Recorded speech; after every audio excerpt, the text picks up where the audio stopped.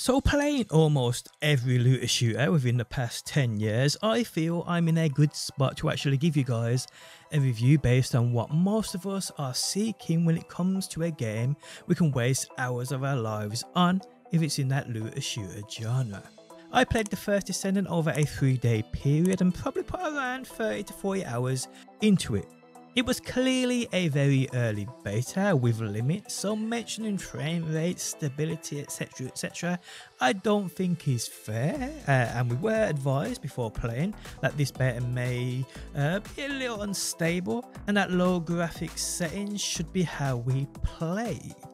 I will mention though, the game only crashed once for me within my entire playthrough. Now what we were allowed to play was actually a decent portion of the game, or what seemed like. And I do have no doubts this game will hit all the right spots within that Unreal 5 engine.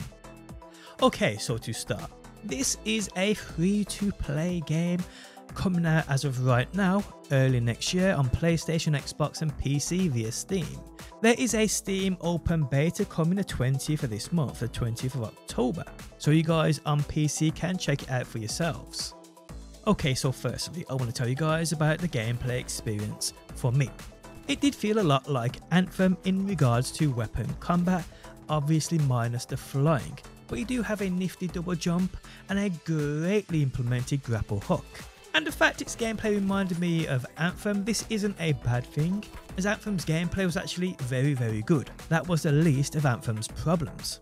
So the first Descendant actually feels pretty solid. Watching the trailers prior to actually playing the game, I had a feeling weapons may have been pushed slightly to the side to make way for all of the abilities on offer within this game, but that really isn't how it is.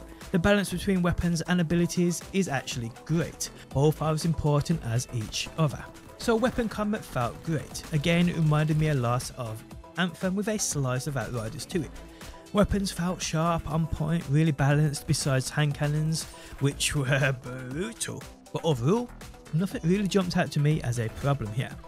The abilities on offer felt absolutely great within this beta, and the amount of characters in actual beta, and possibly even more within the full game, there's so much to do and experience here guys with a variety of different playstyles that will be on offer. Now each character has 4 abilities and these abilities can be leveled up and expanded on.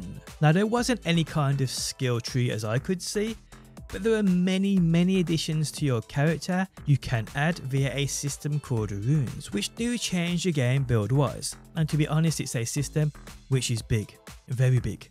Millions of different builds are possible here people. The beta had 10 different characters within it like I said, but at release I'm certain there will be more. It does say at that character select screen 10 of 100. But having 100 different characters on release is a little overkill in my opinion and would no doubt take away from other aspects of the game. So character progression, leveling and builds. This is something I know many of us look for in a game like this. And well, this game isn't sure of it. Your character has 3 weapon slots with you being able to use any weapon in any slot, no limits there. If you do use three hand cannons though for instance, keep in mind ammo. Ammo will be shared across all three weapons. Now there are a variety of different weapon types in the game, assault rifles, tactical rifles, beam rifles, launchers, hand cannons, handguns, shotguns, snipers, scouts, and no doubt even more I can't think of off the top of my head. Now what's important here are the rarities. We will go with rares being blue, epics being purple, and legendary especially being that classic yellow-orange colour. Besides weapons though, within the beta almost every piece of equipment you could loot dropped into three different variants, rare, epic and legendary. Weapons I feel will be in the full game, but within the beta there wasn't absolutely any of them I could see that were of that legendary rarity. But I do believe there will be more of an end game reward or just a much rarer one. So with weapons we also have weapon runes which massively affect the way in which a weapon can not only work but also how said weapon can assist you as you play. Runes are that system I was talking about which can equate to a really unique and massively diverse build system. So as you can see here, runes on the left hand side affect individual weapon types and what rune mod is applied here affects the weapon it represents. And what can be applied here obviously gets better as you play and level up, giving you the benefits of being able to use better runes, but not only that, the benefit of using more of said better runes at the same time. The effect of these rune mods, as I said, vastly differ and can lead to some amazing combinations. But there isn't only runes that affect weapons, your character also has equipable runes too. These again will drastically change the way in which you play this game. It's a system which is gigantic, and to be honest the three days I had to play wasn't near enough time to test what I like to test. But in my opinion, from what I experienced here, and uh, what was on offer within this beta, it's far superior to many of what other looter shooters have offered in regards to actually in-depth build systems which can be unique to itself and the mere fact of how many possibilities are achievable here. Now besides those runes you also have equipment. In the beta, it was quite limited, I won't lie. These four slots behold items that just give you additional HP and defenses. And the items we could loot within the beta basically the same thing for each slot, just like an upgraded version of said same item. I do hope we will see a wider variety of items for each slot within the full game, which affect your character differently. So loot. One of the main chases in a looter shooter game. That oh so beautiful loot. Now like I said earlier, there seems to be right now three different rarities, rare, epic and legendary. There could be even a couple more below rare, and maybe even a tier above a legendary. We don't know this yet. So the loot system in this game to me, in regards to drop rates, is a lot like Borderlands. Man it drops a lot of loot. And this isn't a bad thing either, because obviously not all loot is amazing. In fact, a lot of it ain't. But unused loot can be sold and exchanged for materials as you would imagine. Also lost loot goes to your mailbox just in case your inventory is full. But yeah, loot drops from multiple places and obviously the harder the challenge the better it gets. So what kind of a challenge awaits you? Well first of all, it's all about leveling up. In the beta the max level was a 40, but this is your overall character level. There was also another level or another rank called Mastery Ranks, which you could use to earn XP to level up. This I don't think has a limit, well in the beta it definitely didn't and mastery rank as you upgrade it upgrades rune slots, capacity and so forth. So very very useful for your build. The more you play, no doubt the more you can do. Putting leveling requires you to play the game and play hard. I did not get the feeling that leveling up would be anything quick, nor should it, which I liked. Now leveling can be done in a variety of different ways here. There's actually quite a lot to do even if it isn't anything unique in doing so, which I will add. The activities and things to do here don't actually feel like anything unique. Again, this isn't a bad thing, it's hard to be unique when everything's already been done, but for me, it's about getting the right recipe, even if it means using the same ingredients. So playing the game levels you up. So what are you expected to do? Firstly, we have a social space called Albion. A lot like the Tower within Destiny, it's full of vendors who offer quests, missions, etc etc and the main mission giver for me within the beta was called Alpha. Now NPCs in this game and the story itself is very outridery. No Oscars or awards uh, for storytelling will be given here, but that doesn't matter because it's still pretty fun and it really suits what's going on here. So what is going on? What is there for you to do?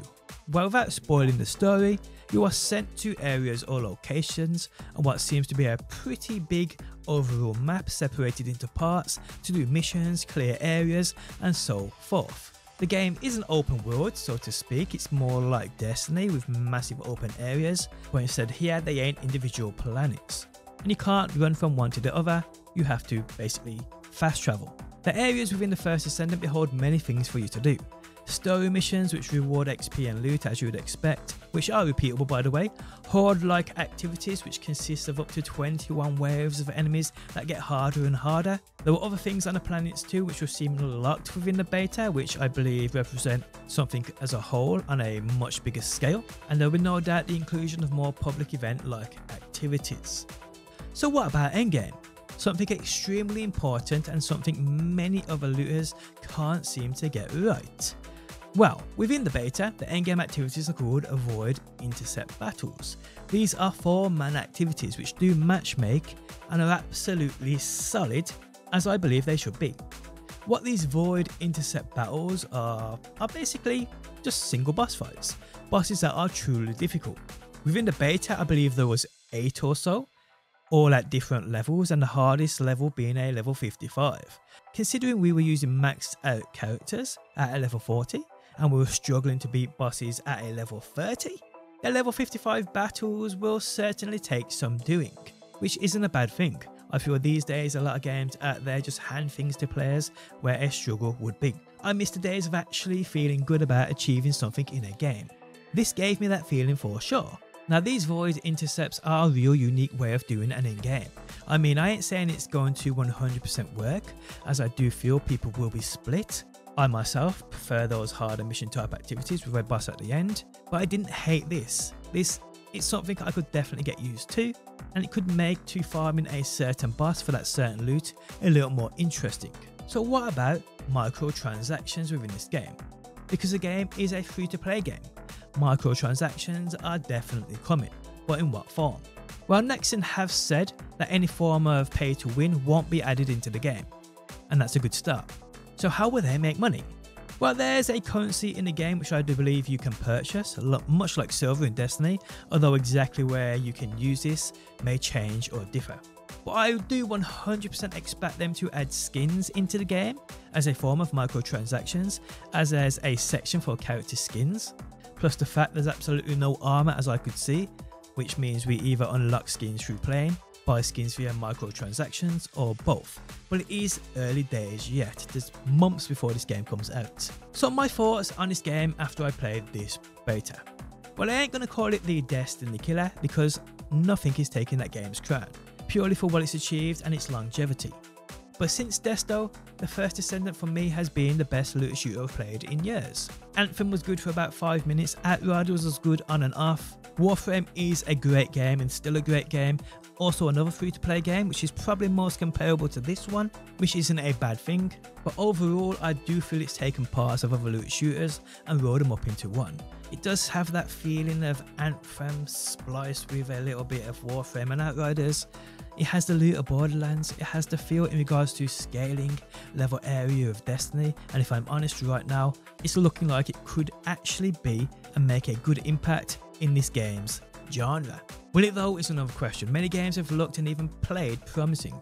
Nexon do have something good here, something to work upon, something which could deliver.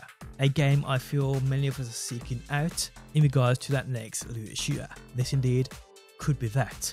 Now the ball's in Nexon's court here. I've seen games on a much larger scale fall flat on their face, but I've also seen the exact opposite happen. And there we have it guys, my thoughts on the first Descendant. Within the hours I put into the beta, it does seem promising, but there's still many many questions to be answered here, and what we have at least two or three months before this game's release, and a lot can change.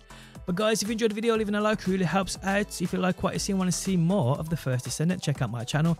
I am posting I've probably got about 20 odd videos to post on this game from the beta I played in regards to characters, abilities, leveling up builds, the runes, the end game, you name it guys, I've got it covered. So yeah, do check out my channel. But guys, thanks as always for stopping by. If you do enjoy the video, leaving a like really helps out. If you like what you see and want to see more, be sure to subscribe. And hopefully guys, I will see you on that next one.